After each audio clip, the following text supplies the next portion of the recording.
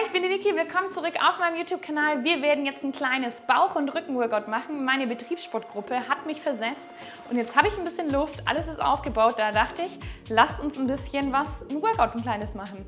Wir werden Übungen für den Bauch machen, für die seitliche Bauchmuskulatur, als auch für den Rücken. Wir werden das Ganze im Tempo der Musik machen und falls es dir zu schnell ist, dann bitte, bitte mach die Übungen korrekt und für dich auch gut verträglich, denn falls du irgendwelche Einschränkungen hast, dann bitte pass auf dich auf. Jetzt würden wir aber loslegen. Ab geht's! Bevor es jetzt aber losgeht, wärmen wir uns ein bisschen auf und wie du siehst, ich bin sockig, du brauchst zu Hause keine Schuhe, am besten barfuß oder sockig. Los geht's, wir nehmen einfach mal das Kinn auf die Brust und Kopf in den Nacken. Wir wollen die Halswirbelsäule und die Schultern und natürlich den Oberkörper ein bisschen aufwärmen, denn den brauchen wir. Schau mal rechts und links über die Schulter. Ein kleines Mini-Warm-up. Das muss sein. Zwei, drei Minuten. Das haben wir. Noch vier. Drei. Zwei und der letzte. Achtung, nimm mal dein Kinn Richtung Brust und kreis mal auf der Brust entlang. Schau über die Schulter. Du weißt ja, wenn man viel in Rückenlage liegt, wie man dann doch die Halswirbelsäule beansprucht. Schau nach vorne, einfach mal nur die Schultern kreisen. Gerne schon im Tempo der Musik. Sei auch gerne schon locker in den Knien und kreis richtig schön die Schultern nach hinten. Zack. Mal rechts und links im Wechsel.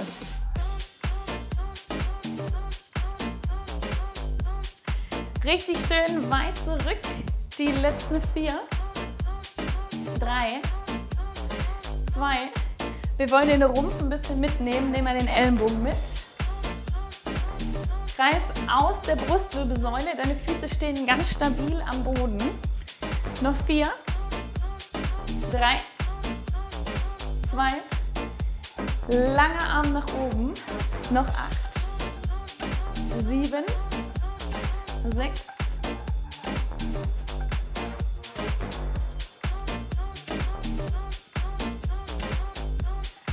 Achtung, den Oberkörper mal ganz klein und rund werden lassen und dann öffnen, Brust raus, mal richtig schön rund werden und öffnen, mal ins Hohlkreuz, tief rund und öffnen. Wird mal ein bisschen größer, mach dich klein und aufrichten. So tief wie es geht nach unten und aufrichten. Nach unten tief und streck dich Richtung Decke.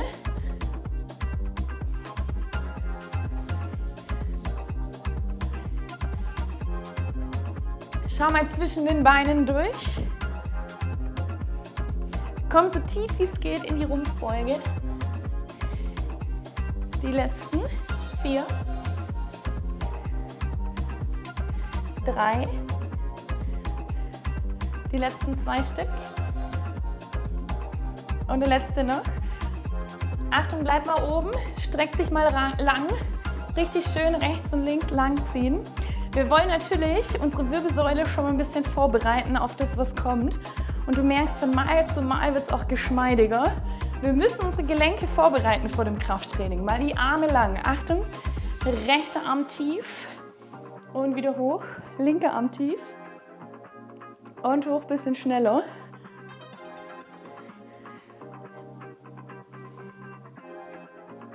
Und auch hier machen wir ja schon eine kleine Seitneige. Also auch schon Kräftigung für den Rumpf. Die meiste Zeit werden wir uns aber am Boden befinden. Noch vier, drei, zwei und der letzte. Achtung, nimm mal deine Hände in die Lendenwirbelsäule, schieb mal dein Becken vor, Hüfte vor, Kinn auf die Brust. Das ist meine Lieblingsübung. Immer schön Bauch raus. Es darf nicht wehtun. Komm mal langsam nach unten tief. Nochmal in die Rumpfbeuge. Hier mal die Knie beugen.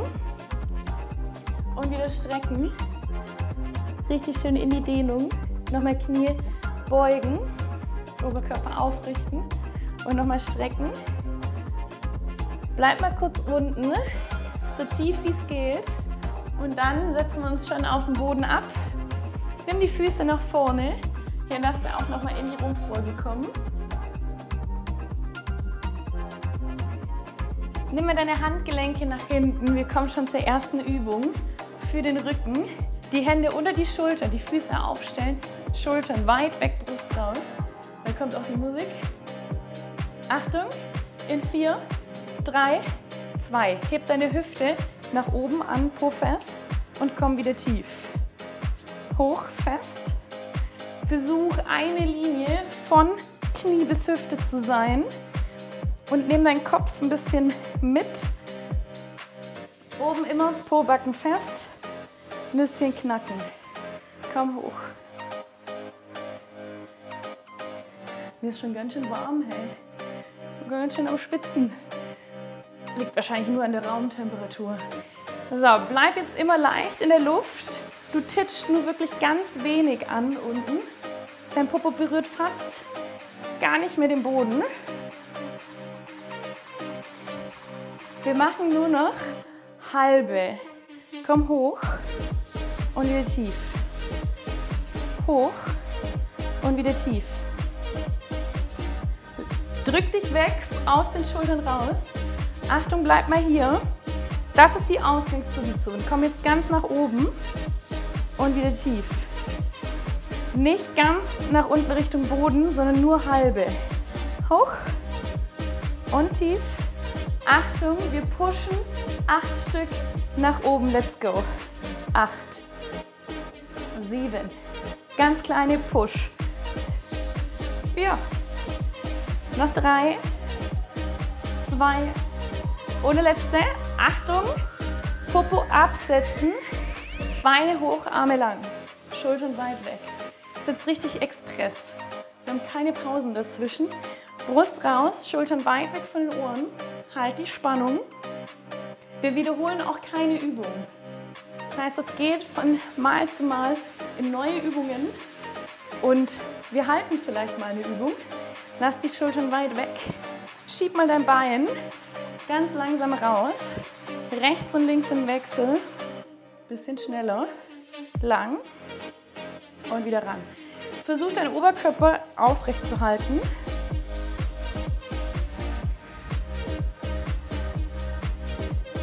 Der Oberkörper darf ein bisschen ausgleichen.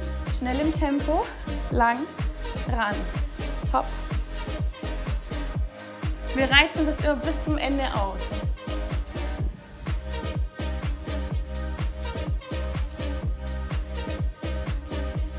Die letzten acht, sieben, sechs, fünf,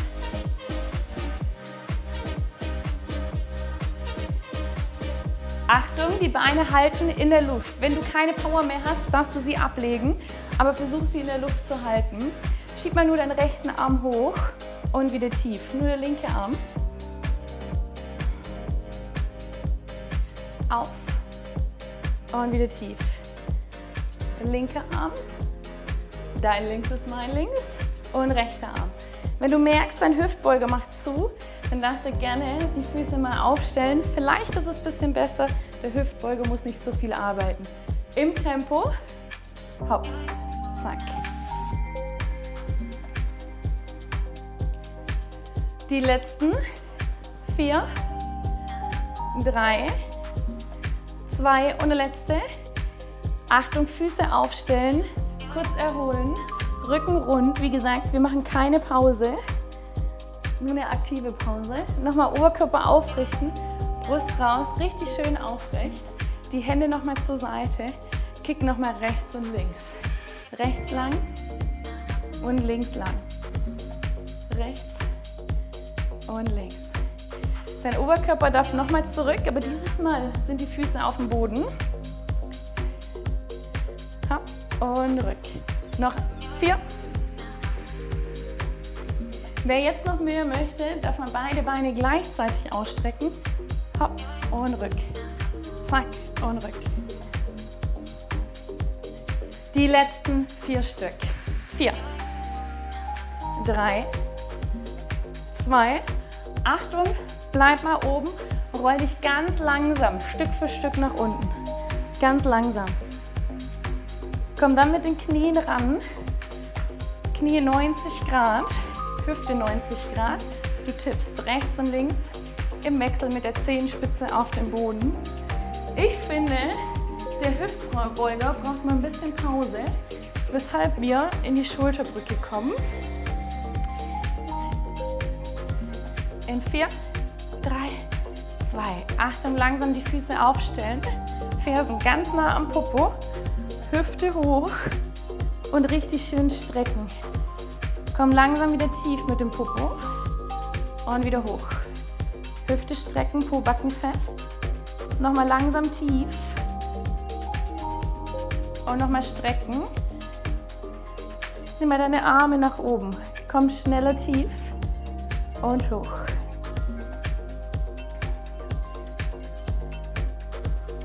Richtig schön auch hier wieder die Po-Backen zusammenschieben.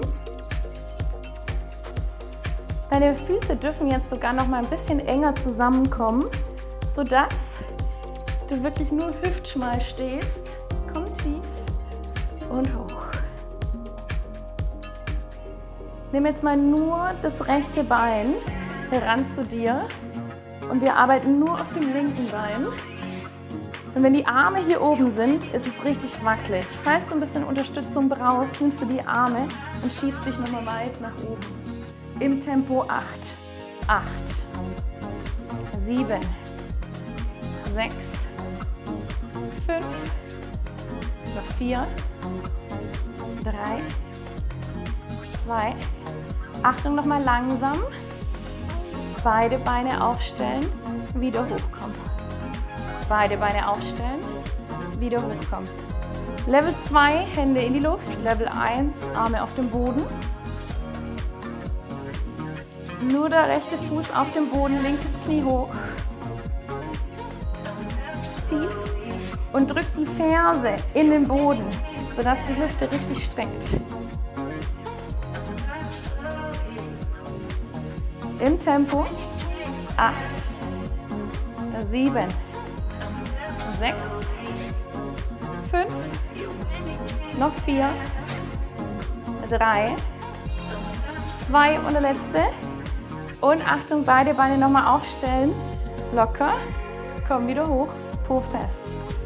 Letzte Runde in der Art Schulterbrücke. Wir bleiben nochmal oben. Achtung. Halt die Hüfte oben gestreckt. Mach mal nur kleine, tief. Gar nicht mehr ganz Richtung Boden, sondern nur kleine, tief bis zur Hälfte und wieder hoch, po fest. Bis zur Hälfte und hoch, po fest.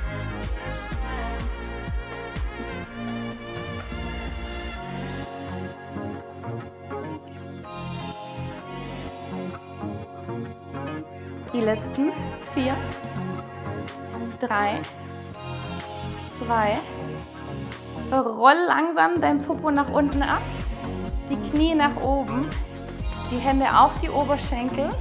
Jetzt drück volle Kraft gegen die Oberschenkel, trotzdem atmen. Rechtes Bein, rechter Arm kommt lang und wieder rück. Rechte Hand, rechter Arm, lang und wieder rück. Wenn du mehr möchtest, nimmst du deinen Oberkörper weg, die Schultern weg vom Boden und noch lächeln. Ausstrecken. Mach dich ganz lang.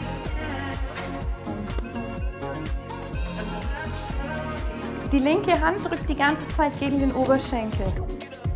Vier Stück drei, noch zwei, letzter noch. Leg deinen Kopf ab. Achtung, die Knie kommt zur Seite, wie ein Scheibenwischer. Wieder zurück zur Mitte, in die Seite wie ein Scheibenwischer. Und wieder zurück zur Mitte. Da knackt es ziemlich laut in der Lendenwirbelsäule. Lass dir Zeit.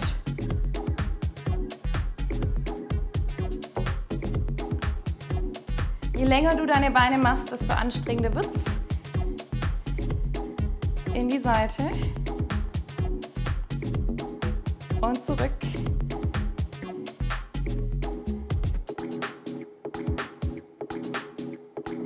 Achtung, Knie nochmal 90 Grad.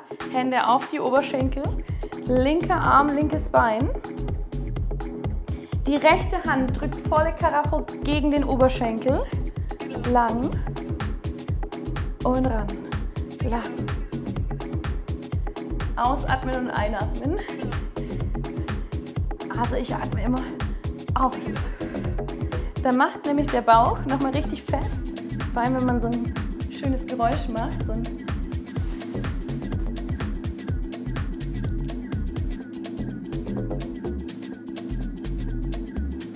Und drück nochmal fester. Die letzten vier Stück, komm. Vier. Drei. Die letzten. Zwei.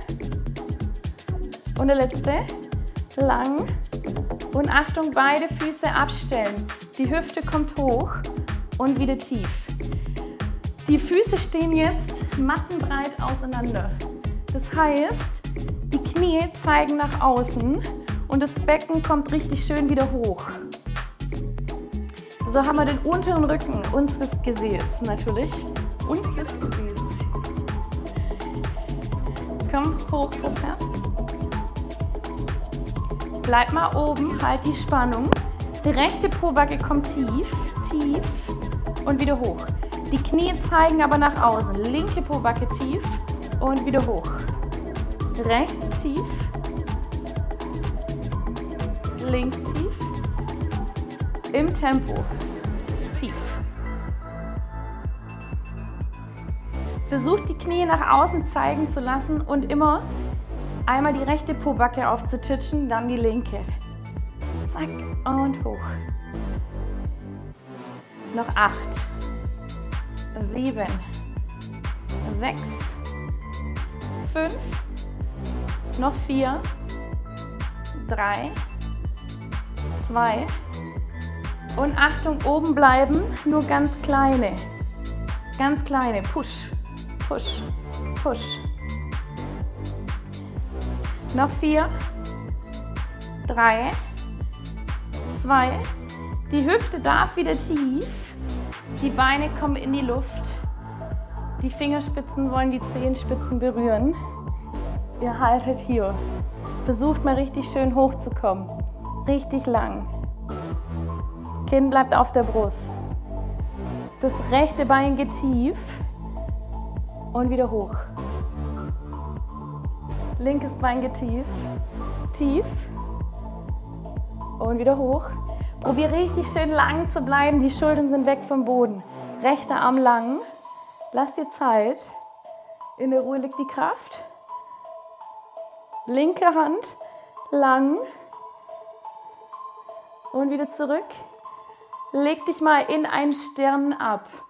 Deine rechte Hand geht hoch, deine linke Zehenspitze kommt hoch. Du kommst wieder in einen Stern zurück. Linke Hand, rechte Zehenspitze. Komm hier ran. Und wieder lang. Bisschen schneller natürlich. Hopp. Wenn es dir zu schnell wird, mach langsam. Zack und tief. Die Pflanze will mitmachen. Und tief. Die letzten acht. Sieben. Wenn es dir zu viel wird, nimm das Knie nach oben. Knie nach oben. Noch vier. Drei. Zwei. Und der letzte. Achtung. Arme nach oben. Gesagt, es gibt keine Pause. Schultern weg. Die letzte, letzte Übung. Knie ran. Halt die Spannung. Halten, halten, halten. Schultern weit weg von den Ohren. Die Arme gehen über Kopf. Wir halten. Komm langsam wieder zurück. Die Beine strecken, halten. Vier, drei, zwei. Kleines Klappmesser, lang und ran. Lang und ran.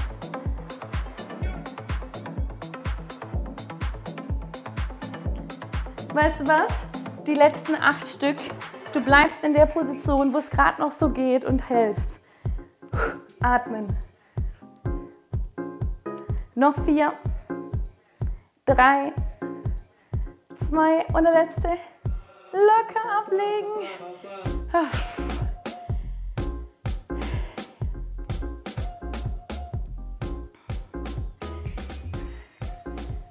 Kann mit ein bisschen Schwung ins Sitzen. Du hast es geschafft. Ein kleines Po, Rücken, Bauch, Core Express. Vielen Dank fürs Mitmachen. Falls dir gefallen hat, auf jeden Fall auf Daumen hoch drücken. Und jetzt wünsche ich dir noch ein schönes After-Workout und eine kleine kurze Dehnung oder Entspannung wäre doch ganz gut.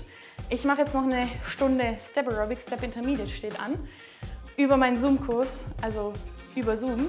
Also falls du Lust hast, da mal vorbeizuschauen, sehr, sehr gerne. Vielen Dank fürs Mitmachen.